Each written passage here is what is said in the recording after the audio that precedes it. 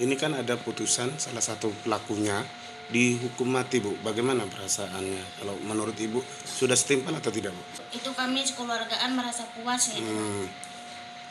Tapi ada teman-teman yang lainnya bagaimana bu? teman-teman yang, yang lain kan mudah-mudahan ditemukan lagi kan pelakunya itu nah Hmm. dengan hukuman sama dengan putusan muhdi sampai saat ini belum masih belum puas sampai dapat semua pelakunya harapan kami kan itu kan semoga ditemukan lagi pelakunya yang lima lagi gitu. Nah sama, sama hukuman yang setimpa hukuman mati gitu pak